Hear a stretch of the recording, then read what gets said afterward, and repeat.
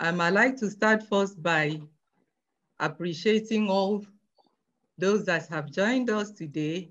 And um, especially would like to also thank um, the Vice Chancellor of our great university, Professor Enefiok Essien, for making it possible for us to broadcast this event live from the Faculty of Science Building, University of Uyo. It's really, really fantastic and great. Um, I like to, before I talk about ISA UniU, I just like to talk about the why we are gathered here for this event. Um, we, we all agree with me that in Africa and in the, um, Africa and particularly in Nigeria, that there's a little bit of disconnect with disconnect between the industry and the academia. You have researchers um, churning out researches that are not really, really relevant and they are not addressing problems in the industry. And you also have the industry having their challenges without the researchers knowing. And so part of um, a way of um, ensuring that we strengthen university investment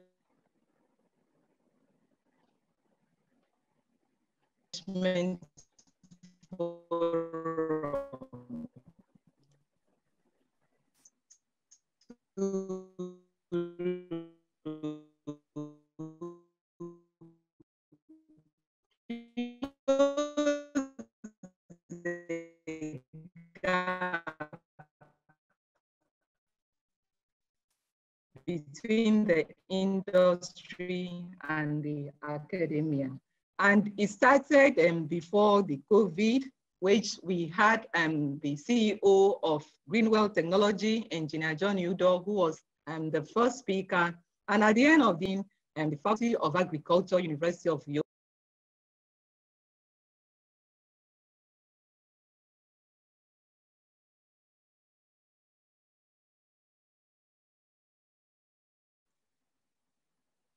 Okay, so we are sorry for that break in transmission. I, I think uh, uh, Dr. Nam is having some issues with uh, her internet connection. Okay, I think she's back. You. No, okay. Are you not seeing my screen? Sorry, please. Yes, Prof, you could share your screen and then uh, continue talking. Yeah, we are with you. Yes, but um, it seems I've not been able I've not been enabled to share my screen. Okay, you can do that now, please.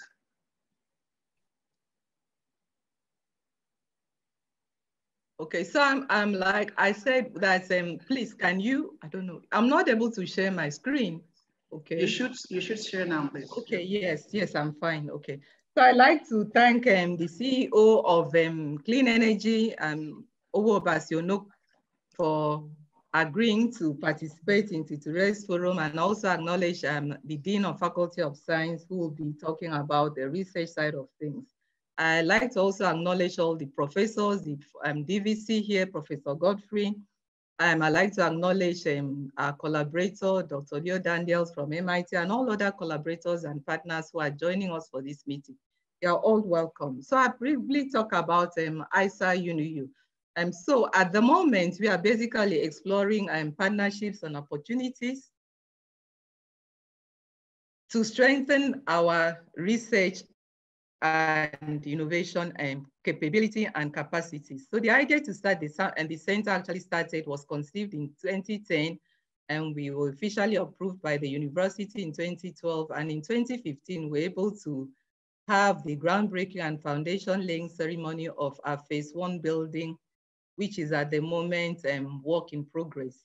So we'll appreciate um, industry collaboration, like I said, to strengthen our, our capacity and our capability. Basically, our vision is to become one of the top innovation centers in the world, which you may, you may say that, um, think of it as being a very um, tall ambition, but then you know that a journey of 10,000 steps just begins with one step.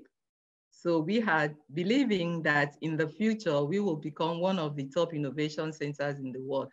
Our mission basically is to be a center of excellence in research, technology, and innovation, particularly delivering scalable and sustainable solutions to challenges in energy and environment in Africa. Our core mandates are as follows. One, we are a center that incubates ideas and innovations from the bigger um, university community, and these uh, ideas are being incubated for the markets. We are also, we also have a mandate to transform academic researches into technologies for commercialization.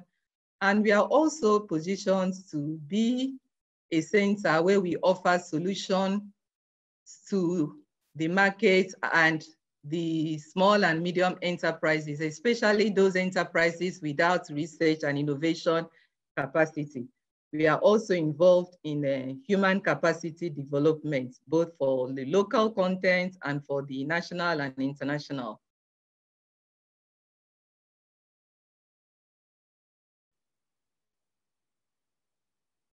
So in the end environment side of things, those are some of the areas that we have um, capacity from EIA to biomonitoring, water technology, remediation, risk assessment, and in the energy side of things, we are into solar technology, biofuel production, waste valorization, biogas technology, and um, bio and nanomaterials. We are strongly linked with a lot of other international centers across the globe, particularly the ones listed there. We, are, we, are, we have as academic partners the Institute of Sustainable and collaborative chemistry in Germany, the Gwangju Institute of Science and Technology in South Korea, the Lancaster Environment Center, Lancaster University. Um, in terms of other bodies, we are strongly affiliated with American Chemical Society and the United Nations Environment Program. And we have a list of all our other partners, including um, government partners, industry partners, they are well listed on our website. I would like you to visit our website for more information about our partners. And um, yeah, we'll encourage you to visit our website. Our email contact is there on the screen and the social media channels are also listed there for information and updates about our center. Particularly, please, we encourage industries to visit the link there in front of you. We put that link on the chat um, on the chat place so that um, industry partners can help us complete the industry survey form. We want to hear from the SMEs. We are interested to know their challenges and how we can um, work together to address those challenges. So I again welcome you and I'm sure you are going to enjoy the session today. Please stay tuned. Thank you. Okay, thank you very much, Prof. Uh, uh, Dr. Edwina. We, we are really grateful for the insight that you've provided uh, about the International Center for Energy and Environmental Sustainability Research. Um, uh, it looks as if we had some technical issues. We'll be able to share the updated slides with everyone in the call today. Thank you very much. Um, we would like to move on to the next speaker, um, Mr. Owobasi Onuk, uh, who will be presenting today on solar energy in COVID-19 economy. Uh, but before he talks, I would like to briefly introduce Mr. Owobasi Onuk. So let me share my screen right now and then try to read his profile.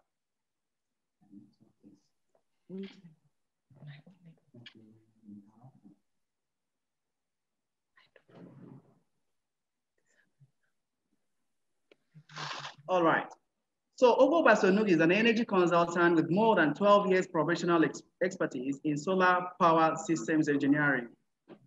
He is the CEO of Clean Energy, which is a leading solar energy company in Nigeria that has successfully installed solar power systems in more than 15 different states in Nigeria, providing 247 electricity to homes, businesses, commercial buildings, and banks, and data centers. We are very, very privileged to have you here, sir, to you know, lead us through uh, today's topic on solar energy in COVID-19 economy. Thank you very much, sir, for, uh, for joining us today and for honoring our invitation and we hope we will learn so much from you. The floor is yours, sir. I think you'll be able to share your screen right after now.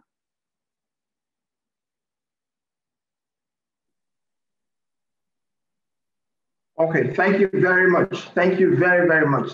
I've been looking forward to this presentation for a long time and uh, I'm happy we're finally together. You know, this conversation has um, been very, very, let me just, let me just share my screen right now.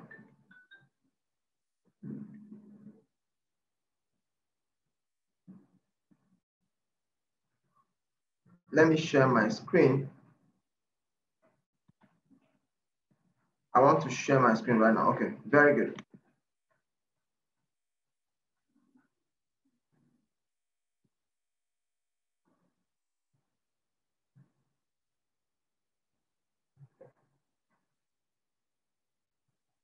Okay.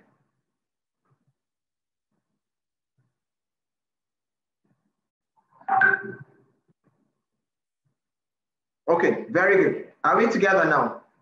Okay, so we're discussing solar energy in a COVID-19 era.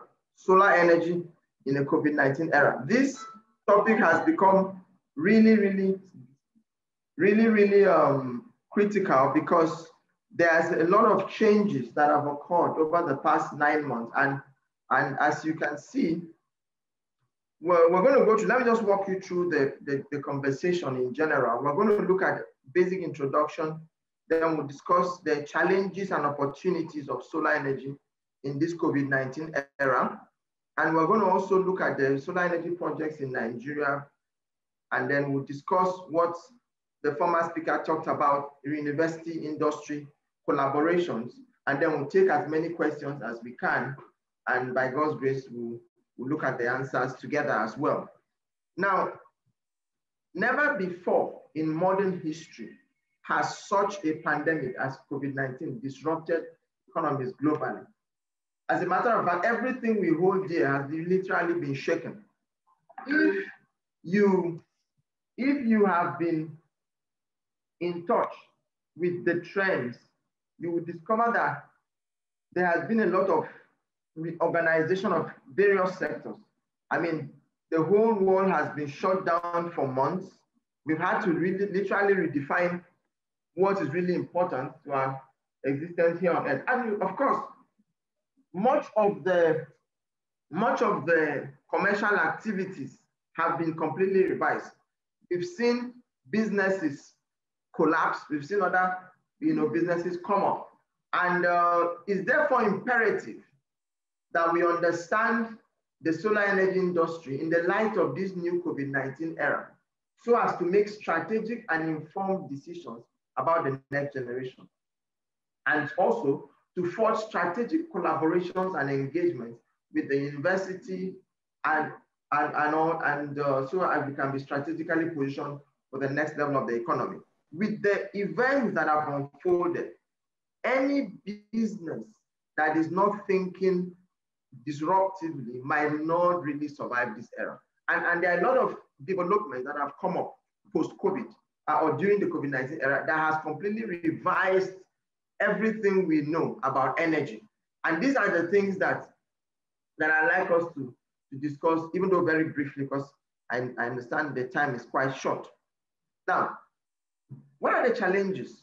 What are the challenges? I, I like to quickly highlight that because with this whole COVID-19 experience, there's been this issue of social distancing. And with the social distancing thing, you're no longer, technically speaking, allowed to hold certain meetings within certain, uh, outside certain numbers of people. So what that has really brought to us as a major new normal is the fact that you're not really going to have that opportunity any longer you always have to have physical meetings with everyone you need to talk with. You know, of course, most of the time people have issues with phone conversations and all, but the other platforms like the one we're using now have had to become one of the major new, you know, strategic ways of meeting. So with the social distancing thing and all that, people have to now work from home. since everything is now dependent on electricity, I mean, for you to be able to work at home, you need to have you need to have um, the capacity to have energy supply or for all the electronic gadgets you have, the whole internet infrastructure in your house, the power system, all of that has to be powered. For instance, I'm currently having this meeting from our solar park office in, in Delta State. And you, you can imagine that everything is running quite smoothly. Internet is running smoothly. The air conditioner is running. You know, the power system is up. Everything is running. And this is the, the new normal. Most of the times, we, we do not take this thing lightly because if you look at the opportunities that exist right now, there is a critical challenge now to be energy independent. Energy independence has become very, very crucial, very, very crucial. And these are the opportunities. The first opportunity there is that people are now beginning to realize that, Kai, we can no longer depend on NEPA or generator. We can no longer on uh, on uh, another particular source of energy that is not stable. Of course, if you're going to attend church meetings like this, nobody's going to ask you, do you have light in your house or will they bring light by those no time to attend? You have to begin to work from home and, and you have to have that energy independence. And this is where solar energy really comes in because solar energy gives you that opportunity to be completely energy independent and you can run your, your system. Right now, conversations like this can happen around the globe and people just tune in at different times. You have to have that source of power that, that gives you that possibility. The second opportunity that came up post-COVID is that there is a high demand for energy. Due to the high level of remote work, people are now constrained. Before now, if you didn't have light in your house, it probably wouldn't matter. But now, you're constrained to have light because if you have to log into a meeting or send reports online, all that stuff is tied to energy. So your energy infrastructure has to be second to none. And, and this is where solar, you know, comes in. These are some of the challenges right now because there is this surge in demand. And if we are not strategically positioned to handle that, you know, response that people are calling us or so, then it becomes a challenge. So these are some of the things we need to look at.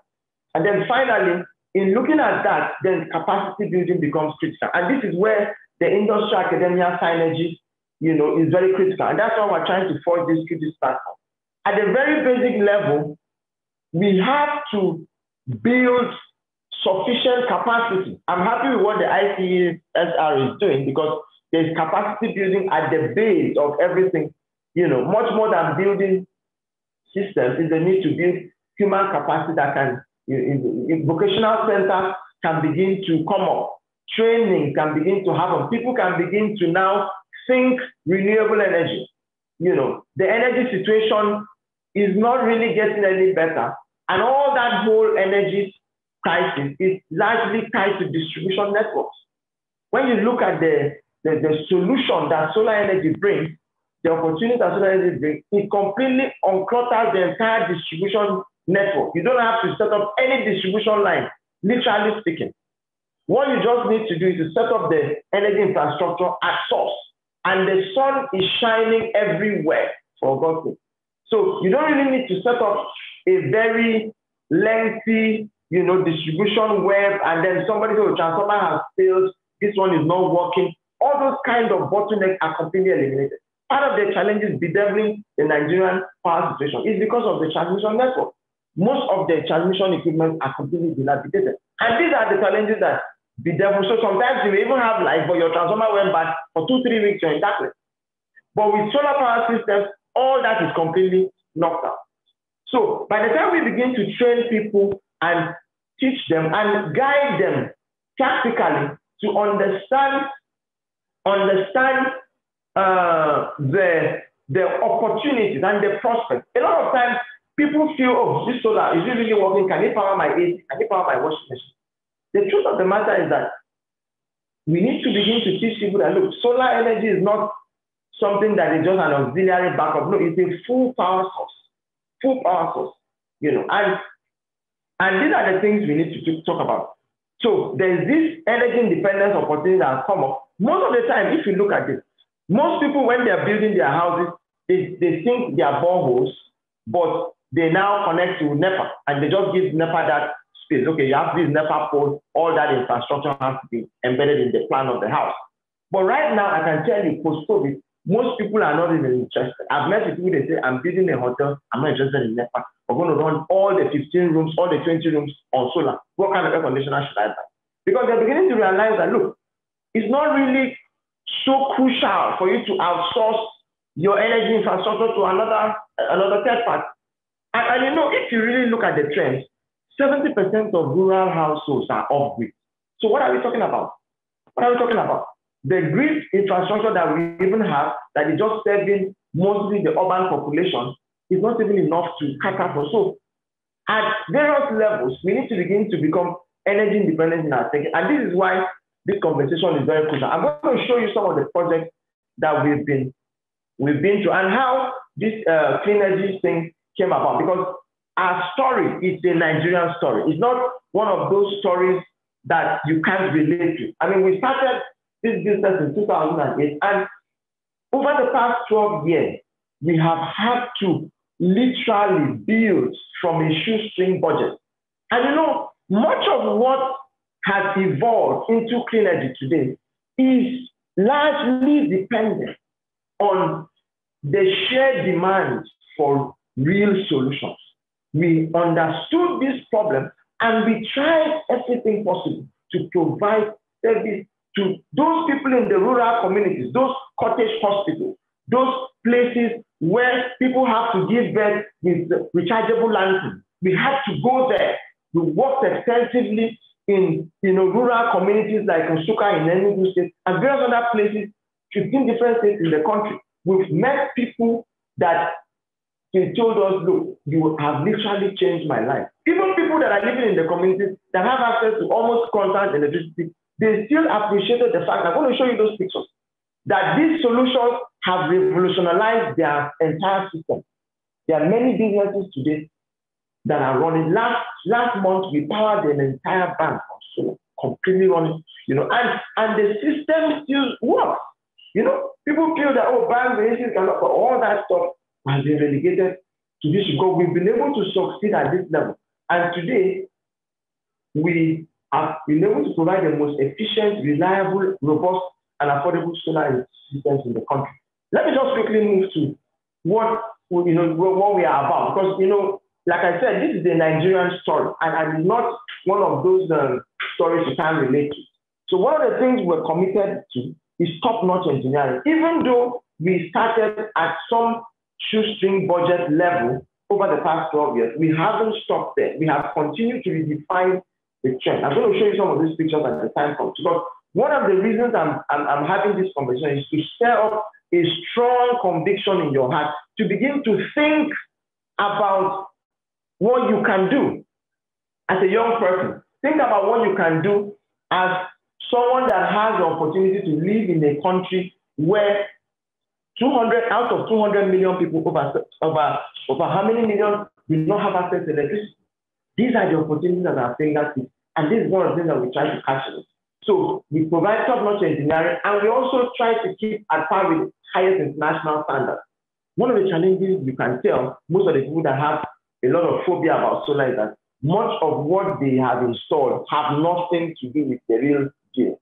They got some cheap stuff, and of course, those things fail within a few months. I don't know, they just write up the whole thing. The industry is not that easy, I tell. If you can work with people that have international standards as their core value system, then you're going to have wonderful experience.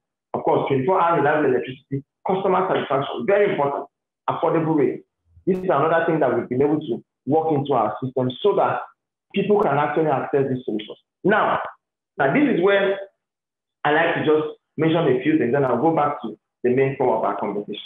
Our project, our products always undergo stringent quality for introduction using high quality solar panels. We take custom design solutions and give technical support after installation. These are the challenges in the industry. They need to give that technical support and then design solutions that actually fit into people's energy needs. Now look at this. This is a 30 kVA solar power system. You know, this system has been running for the past three years without any connection to It powers an entire studio complex, one of the largest solar installations in the East. You can see those infrastructures there. And all these things were done, and it still works. Like I said, the focus of my conversation is not just to tell you what we've done, but to open our understanding to understand that look, these things are real. And they're not just some research topic or something. There is something that can possibly disrupt the entire energy matrix of this country if we can develop sufficient capacity. And that's what I'm, I'm driving now. This is a 30 kV installation, 2017, it was installed and it's running seamlessly. This was installed post-COVID. You can see these are office complex that was just built. In the design of the office, we already had solar infrastructure in place, and all of that, you know, was done. This is a 10 kV installation. This is a residential apartment. You can see the design. It runs this house. They don't even bother about electricity bills anymore because with this energy, the entire house, you know, fridge, freezer, all that stuff, running very smooth. Yeah, this is smaller system. You can see that, you know, wonderful design there, which uh, the house has been running for quite a number of years now. Okay, this, this is this is a new technology now. Look at this. These are lithium-ion batteries. You can see this stuff on the right. You know, this is this is this is a lithium-ion battery. This stuff now. Lithium-ion batteries are the next generation energy storage. We've already inculcated that into our design, and it's actually, you know, part of what we're, we're introducing right now to encourage long-term storage. With lithium-ion batteries, you have up, over eight years plus, eight years or eight to 10 years of storage guaranteed, you know, and all of that. Now, this is a, a pharmacy in Delta State running on solar, 10 kVA solar. This is another place, this is in running an entire house on solar. This is it. This is the 5 kVA. This is actually running um, a tailoring shop, just a small shop. The guy was almost got getting out of business, but we met him last time. We said to him, "You can solve your power problem." And today he runs runs electric iron, all the machines, everything running beautifully well on this system. This is a residential apartment. I can go on and on and on. Look at it. Look at it. There are many such installations we've done, you know, and all that. This is another bungalow, 5 kVA system most of these people, we've knocked off their entire energy bills and they're just running smoothly. This is in Abuja, in Guzape, running this duplex beautifully well. And um, it's a solar powered borehole and treatment plant. And um, yeah, so what are we here for? What is the conversation about? It's about research. It's about university industry collaboration. And that is why we have to have this conversation. I'm really happy with as many of us that were able to come in and, and have this conversation because there is a crucial need to develop capacity and build R&D centers as well as vocational centers across the country that can train and prepare Nigerians for the next level of energy independence. We've heard, we've heard the consistent protest that stems from what would be what would be a classical case of police brutality. And, and, and the whole EndSARS protest that is rocking the country right now has begun to snowball into a demand for proper governance, a demand for systems to be reactivated. And, and all of these things have a way of tying into the, the challenge of power. And these challenges of power are the solutions, believe me, at our, at, our fingertips. When we can begin to raise capacity, building all these, even though they are vocational centers or maybe R&D centers, there's the research and development at the level of product development, where you begin to develop physical products like batteries, like inverters, like solar panels. All that research is ongoing. But beyond that, or as in addition to that, we still need another level of research where people can actually be trained some of them might just earn a living from just installing solar panels.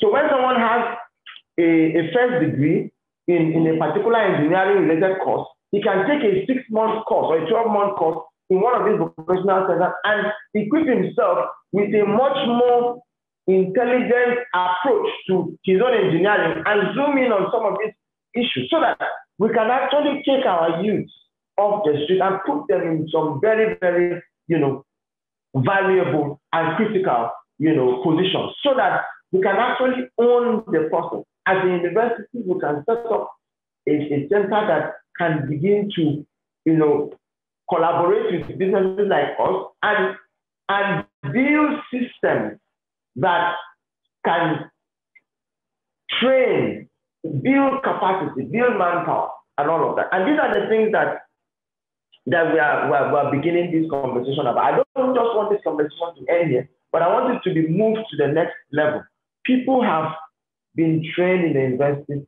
They now come out. They need a little more brushing. Maybe a little vocational, you know, center somewhere can be set up. 50 people every three months or every six months can be trained very, very effectively. And this can be released to society to begin to create this possibility. At the moment, I need to say that uh, our capacity in Nigeria has not really transcended beyond the basic assembly of components. Uh, we haven't really, because of the nature of the industry, uh, it's like a high tech, you know, Silicon Valley kind of technology driven system. So you're talking about uh, you're talking about semiconductor chip technology, you know, the same kind of technology that is used in manufacturing phones and uh, laptops and stuff. These are the same technologies that are used to manufacture the silicon wafer. But the good news is this, and I need to say this very quickly. The good news is this. Even though as a country, we may not have advanced to the level where we can manufacture the solar cells in the country, I need to say that the, the market, the, the renewable energy industry, the solar energy industry, only 30% of the jobs that are created by that industry are localized within the factory. And, and I, need to explain this a little more. 30% of the entire possibility, the entire uh, commercial capacity of the solar energy industry is within the manufacturing industry. The other 70% is out there on the field and is in the palm of our hands. So you're not going to manufacture panels, no problem. You still have 70% market share. If you can deploy these systems, manage them, provide support, that 70% is up, is up for, you, for us to grab.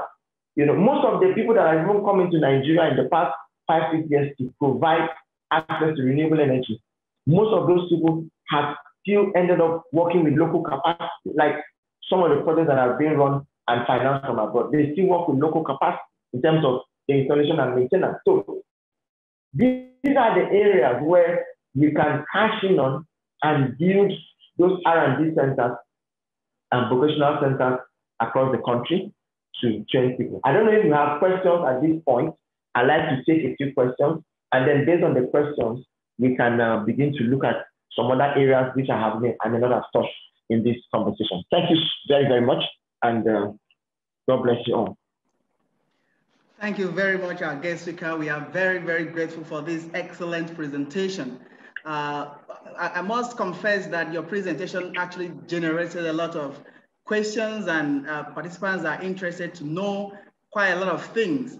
So, uh, I mean, you don't need to ask there are really many questions. So you could stop sharing your screen so that um, I will be able to be uh, guiding us through. Uh, the first question here um, for you uh, is from one of our participants and our collaborator. He says, solar energy is highly expensive in Nigeria. Solar energy is highly expensive in Nigeria. How can cost be reduced?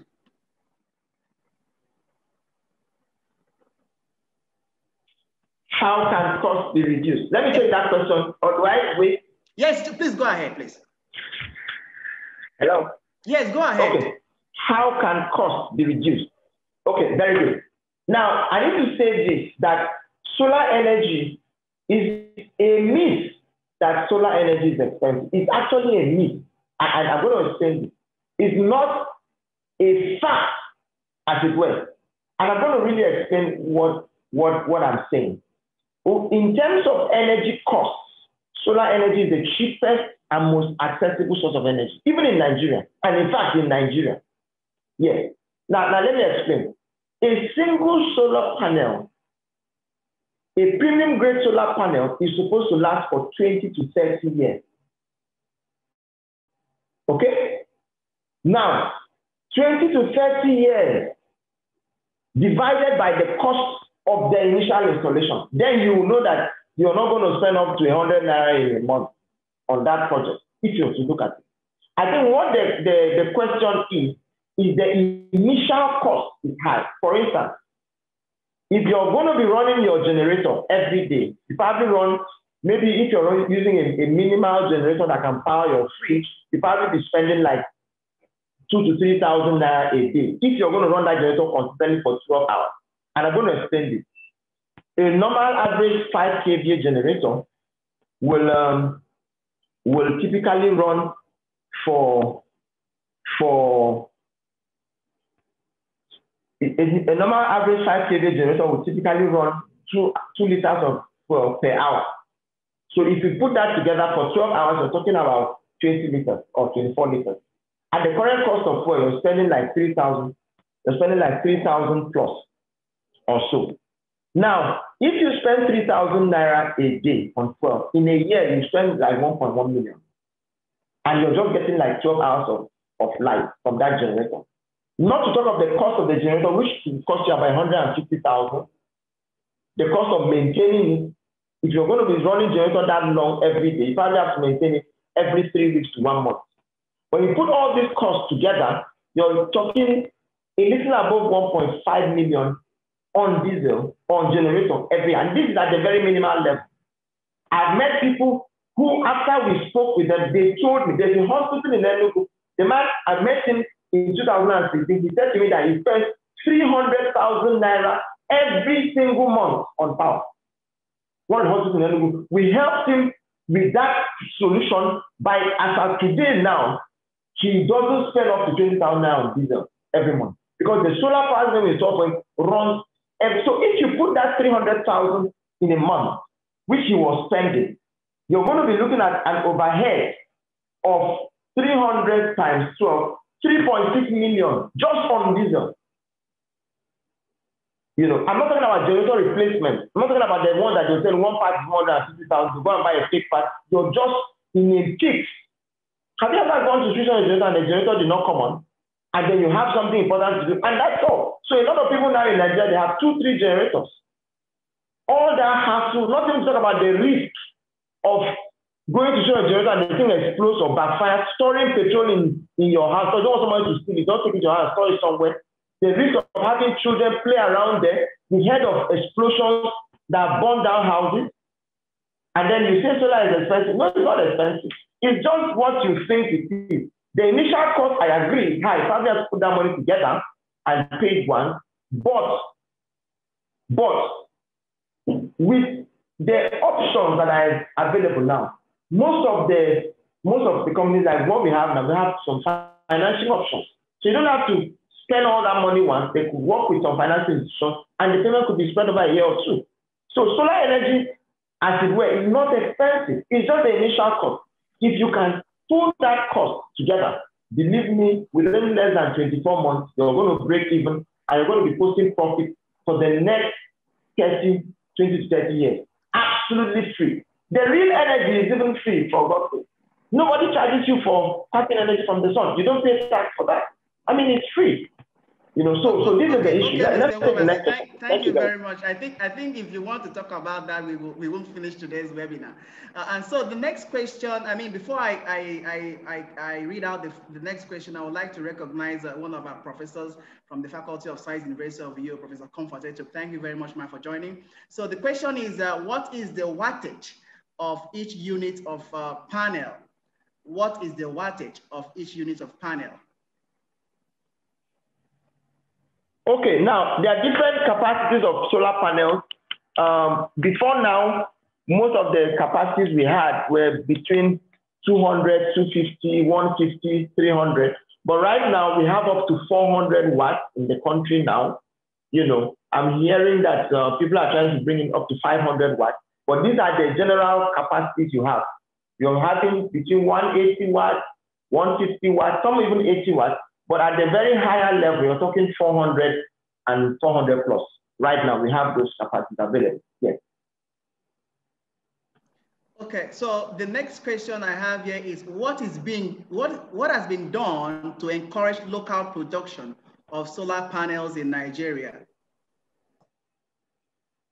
Well, it's a sad story, I need to tell you. Like every other thing, it appears that there's this um, not so sensitive approach of uh, government to some of these um, SME things. But but the thing is this, I need to say this.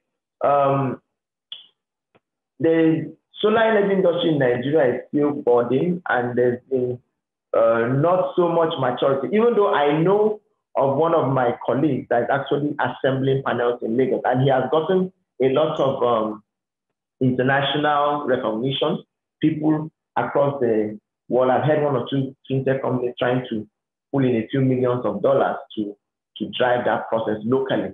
You know, so um, there has been this uh, this issue too. But the challenge with producing locally or this locally is that um, you have to now battle with the other uh, products that are invading the country, you know, how to balance profits, how to give your investors back their return on investment and all that. So there's not been so much done. I, I don't I can only talk about maybe just one or two of such people that are doing stuff like that in Nigeria, but it, it's not really been um, something that I can say is um, really really mature right yet, yet in Nigeria. But I believe that with forums like, you know, things will come up very strong in the future. Yeah.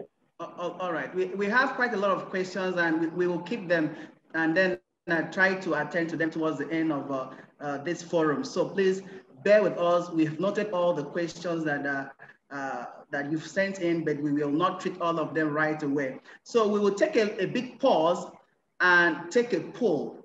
Uh, so the first poll here is um, uh, about the solar energy system that we have. So we want to know um, uh, whether or not uh, uh, we've been able to have any experience, maybe at home or business. So once you see the poll in front of your screen, please try to participate and then we will discuss about the result. Thank you.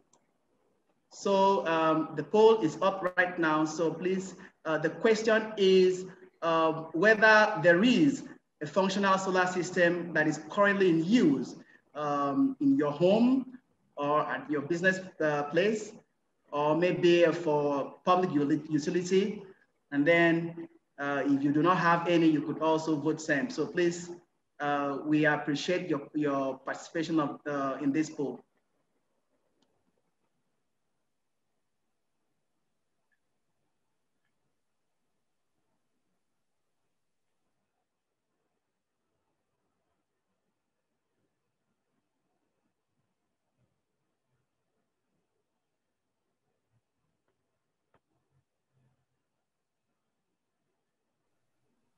So I'll end the poll in the next few seconds.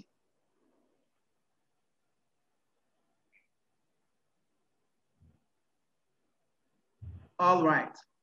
So we have here about 21% uh, said they have um, solar energy system at home, while about seven answered and said they have at their business places. 10% uh, uh, have noted some being used uh, for public utility. And then the others, we have 7%, and then none, 55%, and that is huge. So I would like to ask our guest speaker today to, to quickly you know, respond to these um, uh, uh, uh questions, uh, sorry, answers. Okay, okay. Um, it's typical of what we see every day. There's this um, cold footedness. Could you please switch on my video? I, I want to. I'm not I'm not able to switch on my video.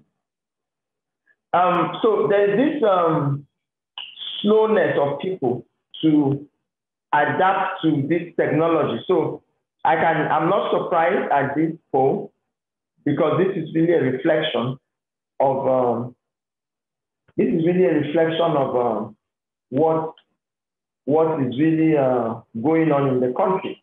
But I hope that with conversations like this, there, there, there's going to be an improvement.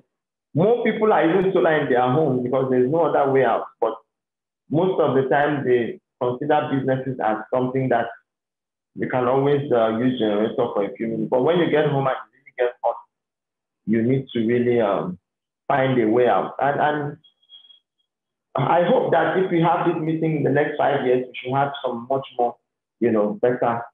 But, but you know, the good news, I'm happy with this poll result because by the time we go back home, this 55% will now begin to sing different. And, and you know, this is why we actually called this meeting so that there could be an improvement. Exactly. exactly. I, I, it's really great. It's really good. Exactly. Okay, thank you very much. So uh, we would like to we would like to move on to the next speaker for today. Um, we would bring in our distinguished professor. Professor Idara Akpabio will be speaking to us very shortly. He's here with us today. So he will be talking on the topic um, uh, solar energy in COVID-19. I mean, a way of also um, you know, uh, giving some speech and remarks about what has been discussed so far, bringing in the university and R&D experience. So uh, a brief about Professor Idara Akpabio. He is the Dean, Faculty of Science, University of Uyo. He has been a professor for over 10 years. He holds a PhD degree in applied geophysics from University of Science and Technology, Port Harcourt. He has professional experience that has taken him through the geological laboratory and Exploration Department of Shell Petroleum Development Company of Nigeria, SPDC, Stanford University, California, Southern Polytechnic State University, Atlanta, Georgia. Professor Akpabio is the coordinator of the Advanced Space Technology Applications Laboratory in Professor Akpabio is a member of several professional organizations, including Nigerian Institute of Physics, Nigerian Mining and Geosciences Society, and Nigerian Association of Petroleum Explorationists. He has authored and published over 100 articles in reputable national and international journals. Professor, we are very, very happy that you've been able to uh, join us today. Thank you very much for joining us. Uh, I will be stop, I'll stop sharing my screen now so that you could share yours and uh, let us hear from you. Thank you very much, Prof. Okay, thank you very much. I hope you can hear me loud and clear. Yes, we can hear you, Prof. Okay, a lot has been said on the solar energy in the COVID-19 economy, and a lot has also been said on impact of COVID-19 on economy. Uh, what I want to emphasize here is that arising from the challenges that we have had over the months this year precisely uh, because of the COVID, there are lots and lots of challenges that exist now in the solar energy industry. And such challenges should be faced up or should be looked at as opportunities to, to the researchers. I don't really want to repeat what has been said already, but let me just make a few one or two remarks on the uh, what has been discussed. For example, somebody asked a question that uh, solar energy uh, harnessing is expensive and I want to say, yes, it is expensive at the installation point. My advice to people that are interested in keying into solar energy business uh, from the functional solar energy system uh, quiz that has been made, over 55% said none. In other words, they have they are not aware of what is going on. So a lot of awareness has to be put in place, has to be made so that people will know that solar energy is cheap solar energy is clean, cheap. By cheap, I mean if you start small, you don't need to start in a scale that uh, has been so bogus the way the clean energy guy presented it. You can get solar energy in your house, in your office. You can start with mere simple lighting. If you start with lighting up points alone, you can, you can get that cheap. As time progresses, you can now go to fan. As time progresses, you add maybe panel, increase your capacity in terms of battery. So you now advance to uh, getting it into your freezer. Bit by bit, you add up and add up and add up. And before you know it, you have assembled a large KVA that can take you, that can even take your, your, your AC. One AC is enough for, a for, for a period. So my advice is that we can start, one can start small. Start small by taking the lighting point and then you increase and increase and increase. At the long run, at the very, very long run, you will see that solar energy in your house is the cheapest that you can get anywhere. You cannot compare it with buying fuel, by servicing of your generator and all of that. It's important to note that once you get solar energy installed in your house, little or no servicing is required, less maintenance.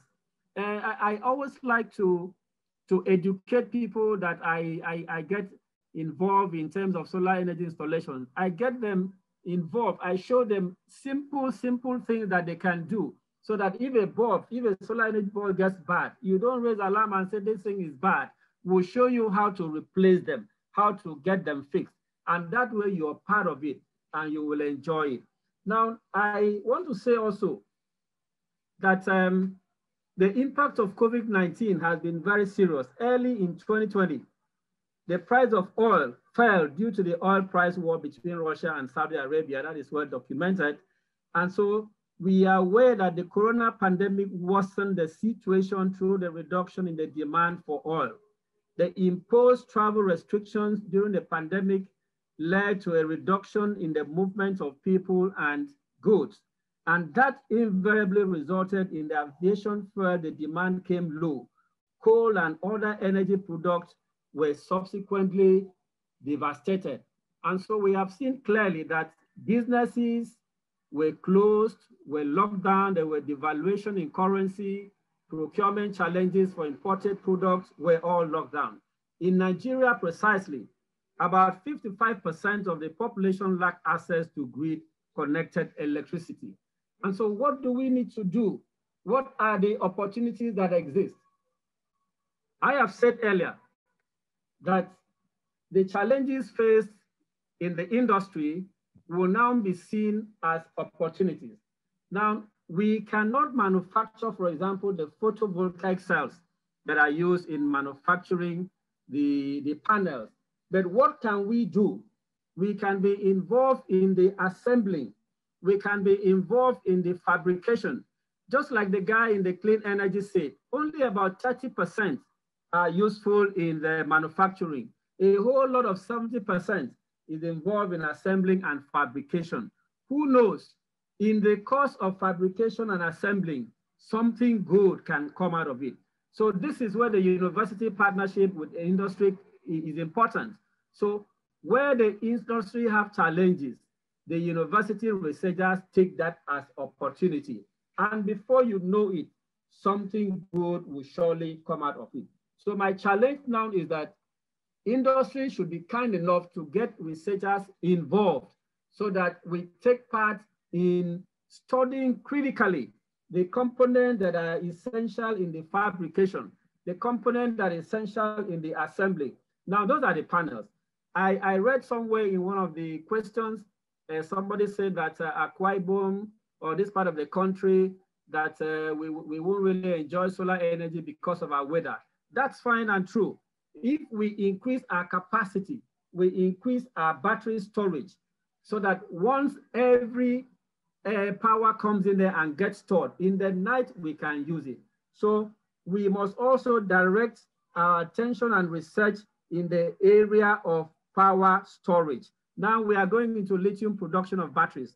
So a lot has to be done in the assembling and fabrication of the panels, the inverters, the different components in the inverters, we have to study them critically and see which part we can assemble or which part we can manufacture here, the batteries, the charge controller, and all the accessories that go with the battery panel. This way, we can be sure of making an impact. I, I really enjoy what the clean energy guy is doing. I, I pray and I sincerely wish that the, the industry and the, the academia will join together and see how we can enlarge that scope. The opportunities that exist here include supporting medical teams in remote areas where solar energy is in abundance. It is abundant everywhere. So we don't need to, it doesn't matter where you are, solar energy can be tapped. Now the off-grid project, being more preferred by investors. Example, the federal government to provide solar energy to over 5 million Nigerians within a month. It can is possible.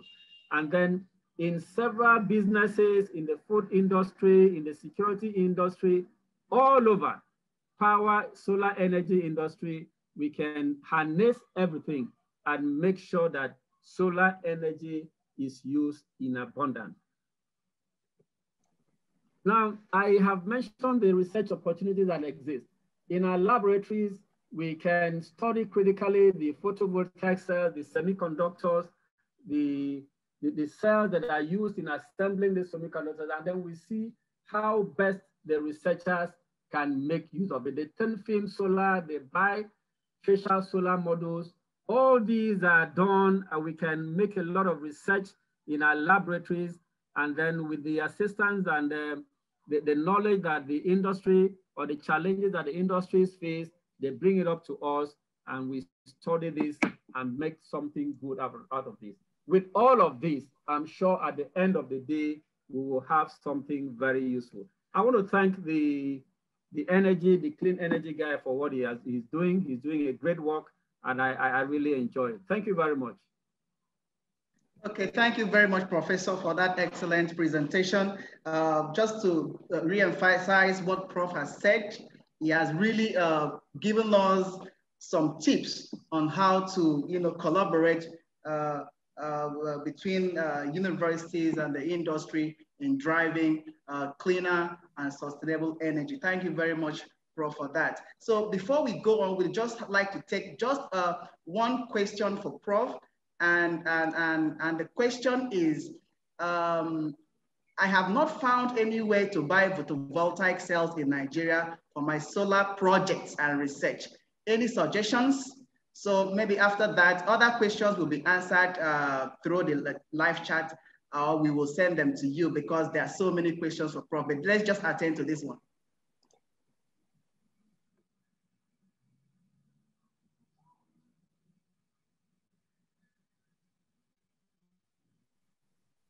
Prof, did you get the questions? Hello? Look. No, I'm with you. Okay. The, the question is, I have not found anywhere to buy photovoltaic cells in Nigeria for my solar projects and research. Do you have any suggestions? Okay, if um, if the person goggles, if I goggle, I can give you a few places that you can buy.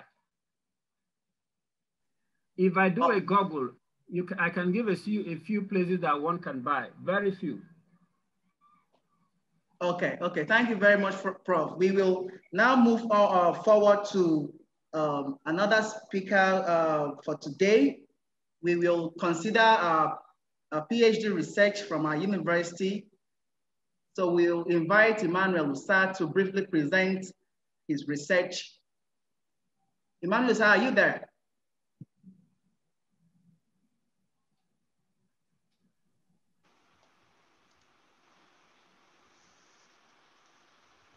Hello? Hello? Yes, we can hear you. Please, could you share your screen and let us, okay.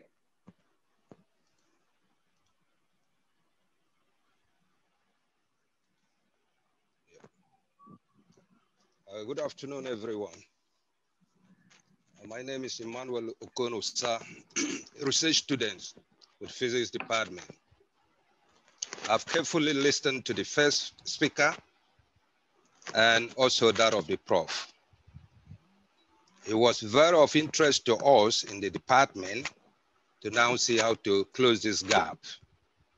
First was the bulkiness of the inverter system the heaviness of the barracks, this project has been able to solve that. And the overall outcome of this project has made electricity to be mobile, available, and sustainable for the end users. Permit me to take you through the system.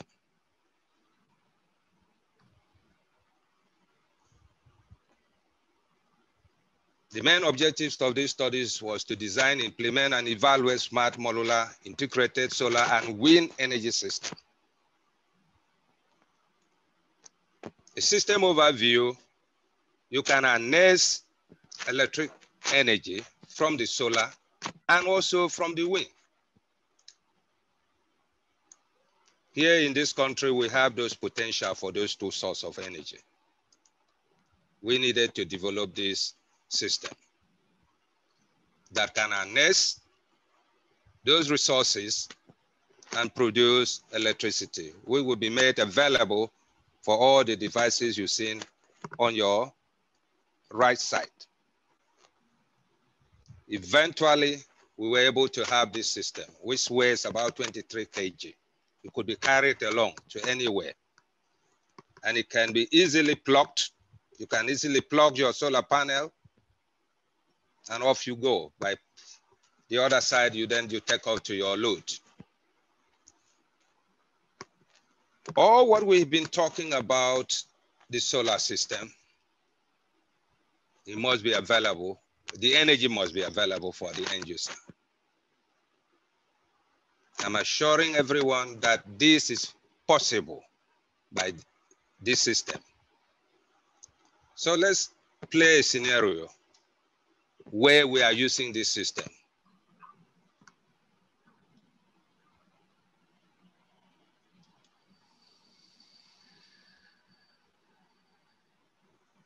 If I set aim an objective of having power is to power a house, which other utilities, equipment, and devices are being used there.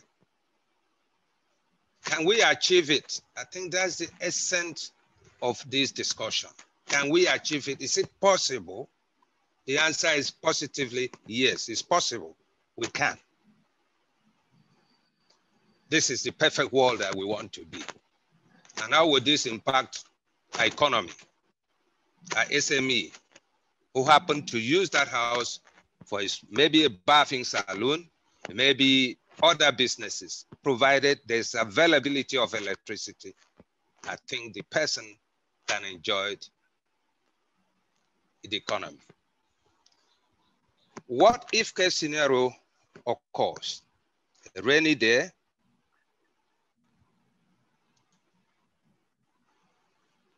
now we don't have sun. Just like the prof said, people said, in this part of the country, we might not get it right. I, I dismiss it. Because when you look at your meteorological service and you do the necessary calculation, that will help you to size your solar panel, size your wind generator to get to the power you need from the source to be able to power your inverter system. And this we have done and we have achieved it. a sunny day, then your solar system, like we're going into this dry season, excellent, excellent production at all time. And it's feeding it through your inverter system, and the home is going. What about night? Where those two sources are not available. A good battery system, like the early speaker mentioned, we have moved from the uh, lead acid battery technology to a lithium battery system. This, you achieve two things there, fast charging, and then we incorporate communication because the end user, if you look at your right-hand side, is the one receiving. Unlike conventional inverter system, which the owner has to go to the place to see if the battery is charging, is it healthy enough? With your handset, you can always be in touch with your system.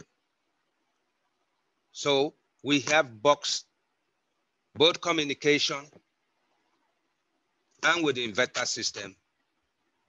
And this is now becoming portable and you can move it from one place to the another place and they require energy based on the sizing and the capacity can be made available for the end user, which is the needed power to drive the economy and the needed power to communicate your product, your services to other end users.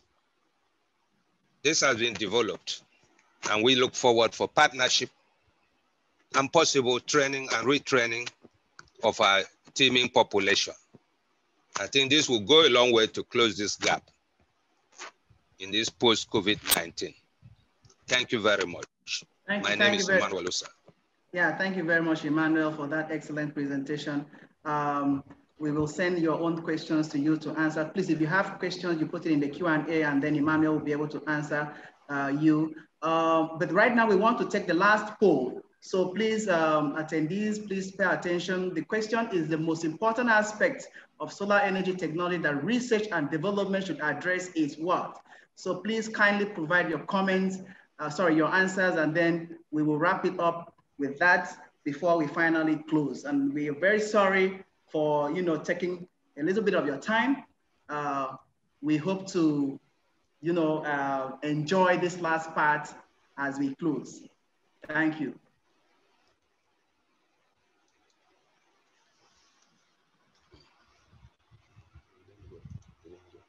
You didn't go. You went.